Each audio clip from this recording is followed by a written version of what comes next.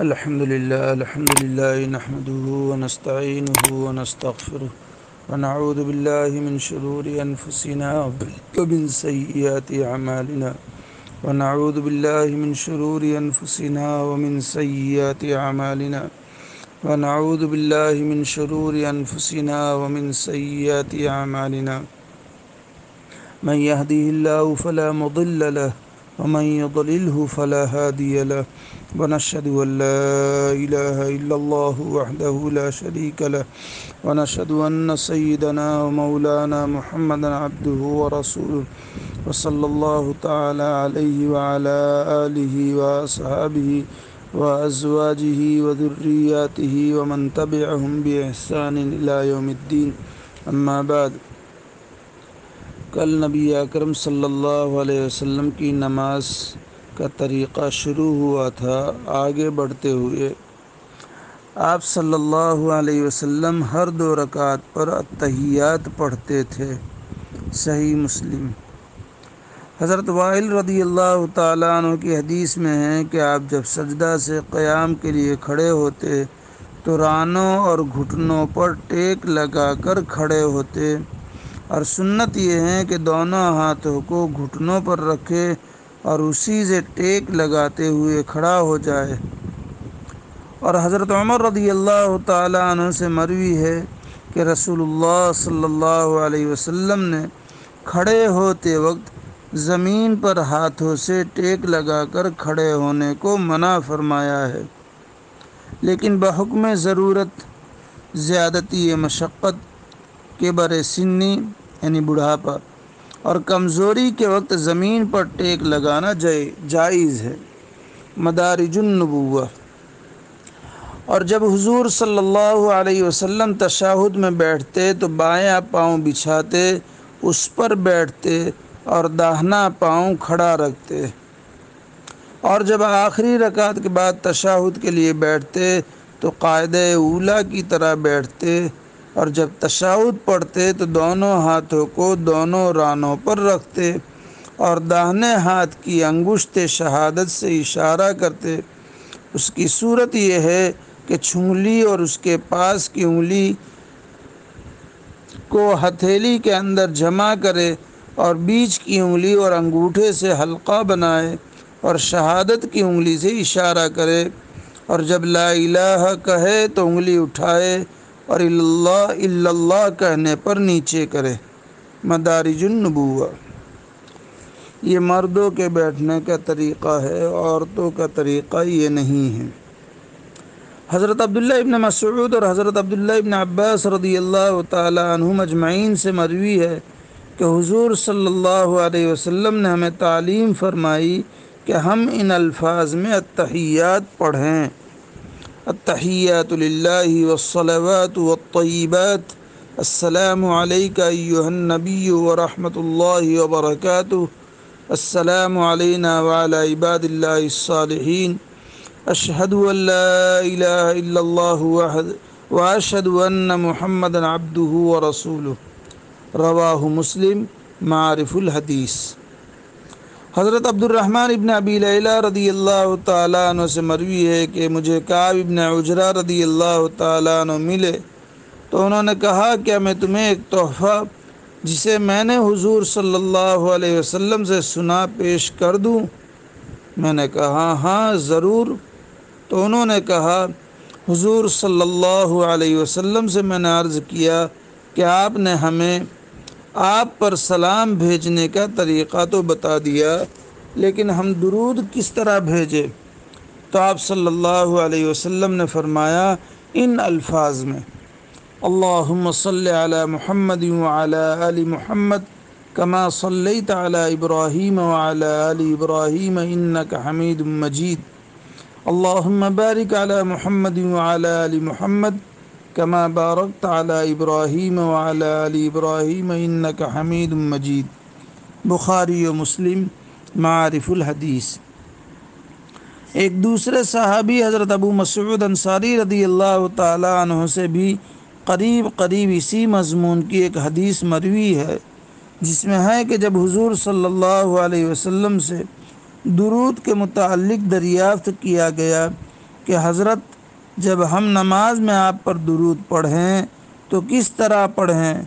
तो आप सल्लल्लाहु अलैहि वसल्लम ने मस्कुरा दुरूद शरीफ की तलकीन फरमाई मदारिजुन्नबूआ तबरानी इब्न माजा और दार कुतनी हज़रत सुहल इब्न साद रदी अल्लाह तह से रिवायत करते हैं कि हुजूर अकरम सल्लल्लाहु अलैहि वसल्लम ने फरमाया कि उस शख्स की नमाज़ ही नहीं जो अपने नबी पर दुरूद न भेजे। मदारिजुन्नबुआ दुरूद शरीफ के बाद और सलाम से पहले दुआ। मुस्तदरक हाकिम में है कि हज़रत अब्दुल्ला इबन मसूद रदी अल्लाह तह का इरशाद है कि नमाजी तशाहुद के बाद दुरूद शरीफ पढ़े और उसके बाद दुआ करे। सही बुखारी और सही मुस्लिम वगैरह की एक रिवायत में हज़रत अब्दुल्ला इबन मसूद रदी अल्लाह से तशाहुद की तलकीन वाली हदीस के आखिर में रसूलुल्लाह सल्लल्लाहु अलैहि वसल्लम का ये इरशाद भी मरवी है। यानी नमाजी जब तशाहुद पढ़ चुके तो जो दुआ उसे अच्छी मालूम हो, उसका इंतखब करे और अल्लाह ताला से वही दुआ मांगे, मारिफुल हदीस। दुरुज शरीफ के बाद नमाज़ में दुआ हज़रत सल्लल्लाहु अलैहि वसल्लम से तालीमन भी साबित है और अमलन भी। हज़रत अबू हुरैरा रदी अल्लाह तह से रिवायत है कि रसूलुल्लाह सल्लल्लाहु अलैहि वसल्लम ने इरशाद फरमाया, जब तुम में से कोई आखिरी तशाउद पढ़कर फारिग हो जाए तो उसे चाहिए कि चार चीज़ों से अल्लाह ताला की पनाह मांगे। मुस्लिम हुजूर नबी अकरम सल्लल्लाहु अलैहि वसल्लम दुरुश शरीफ के बाद ये दुआ पढ़ते थे अल्लाहुम्मन्नी अऊदु बिका मिन आदाबिल क़ब्र, व अऊदु बिका मिन फितनतिल मसीह दज्जाल, व अऊदु बिका मिन फितनतिल महया वल ममात अल्लाहुम्मन्नी अऊदु बिका मिनल माथमी वल मगरम। तर्जमा अय अल्लाह, मैं आपसे कब्र के अदाब की पनाह चाहता हूँ।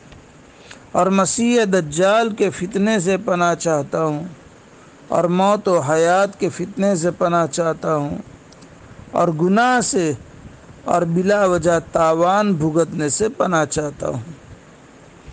हज़रत इबन अब्बास रदी अल्लाह तन फरमाते हैं कि रसूलुल्लाह सल्लल्लाहु अलैहि वसल्लम इस दुआ की तालीम इस तरह हमको देते थे जिस तरह कुरान की सूरत की तालीम देते थे, मुस्लिम व बुखारी मदारिजुलनबुआ नबी करीम सल्लल्लाहु अलैहि वसल्लम तशाहुद के बाद नमाज़ के आखिर में दाहने और बाएँ सलाम फेरते और अपनी चश्मे मुबारक नमाज़ में खुली रखते, बंद न करते थे, सही मुस्लिम मदारिजुलनबुआ हम जो नमाज़ में दुआ पढ़ते हैं अल्लाहुम्मनी ज़लम तो नफसी जुल्मन कसीरा। वो नबी अकरम सल्लल्लाहु अलैहि वसल्लम ने हज़रत अबू बकर सिद्दीक़ रदी अल्लाह तहों के पूछने पर सिखाई थी। और बड़ी जाम दुआ है अल्लाहुम्मनी ज़लम तो नफसी जुल्मन कसीरा, वला यगफिरुज़ुनूब इल्ला अंत फ़िरली मगफ़रतम मिन इंदिक, वरहमनी, इन्नका अंतल गफ़ूररहीम देखिए, आप सल्लल्लाहु अलैहि वसल्लम ने सिद्दीक़ अकबर रदी अल्लाह तु को जो दुआ सिखाई, उसका मतलब क्या है? पहले सिद्दीक़ अकबर रदी अल्लाह तु पूरी उम्मत का इस बात पर इत्तेफाक है कि तमाम अम्बिया तस्लीम के बाद तमाम उम्मतों में सबसे अफज़ल हज़रत अबू बकर सिद्दीक़ रदी अल्लाह तहों हैं और सबसे पहले जन्नत में भी वही तशरीफ़ ले जाएँगे। लेकिन इसके बावजूद आप सल्लल्लाहु अलैहि वसल्लम ने जो दुआ सिखाई, उसमें ये बताया कि अल्लाह, मैंने अपने नफ्स पर बहुत ज़्यादा जुल्म किया है। हालाँकि बिल्कुल गुनाहों से महफूज रहे हैं। लेकिन फिर भी ये। और गुनाह को सिर्फ़ आप ही माफ़ करने वाले हैं। वला यकफिर जुनूब अंत। फ़िर ले मगफ़रत मिन इंदिक। लिहाजा मुझे बख्श दीजिए। ऐसी बख्शिश के जो आपके पास से खसूसी हो और मुझ पर रहम कीजिए। आप ही बख्शने वाले और रहम करने वाले।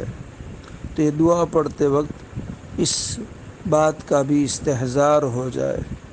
अल्लाह ताला हम सबको और पूरी उम्मत को नबी अकरम सल्लल्लाहु अलैहि वसल्लम की तालीम के मुताबिक नमाज़ पढ़ने की तौफ़ी अता फ़रमाए, आसान फरमाए, मदद फरमाए।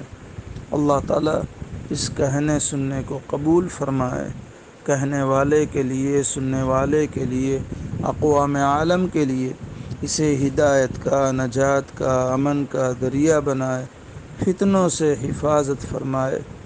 नबी अकरम सल्लल्लाहु अलैहि वसल्लम की ये पाकिज़ा तालीमात, अज़मत के साथ, मोहब्बत के साथ, दिल की गहराई के साथ अखलास के साथ बार बार पढ़ने की, सुनने की और ज़िंदगियों में अपनाने की, अल्लाह अपने फ़ज़ल से तोफ़ी अता फ़रमाए। आसान फरमाए, मदद फरमाए। आमीन या रब्बल आलमीन। बहरमत सैदिलमरसलिन सल्लल्लाहु अलैहि वसल्लम। व आखिर दावाना आलमीन।